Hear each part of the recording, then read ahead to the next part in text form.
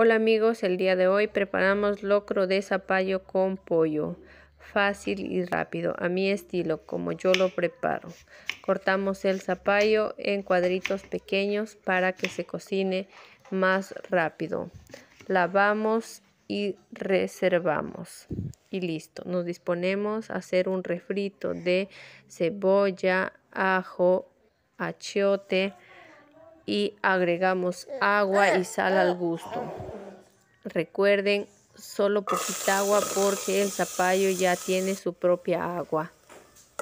Luego agregamos verdura, pueden agregar la verdura de su preferencia o la que más les gusta. Yo solo agregué arvejas y zanahorias. También agregamos el pollo ya cortado en cuadritos y también agregamos papitas en cuadrito. Movemos y dejamos cocinar por unos minutos más.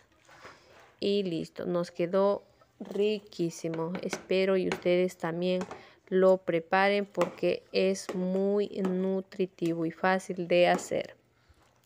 Servimos, acompañamos con arrocito y su ensalada. Gracias por su apoyo. Nos vemos en el próximo video. Chao.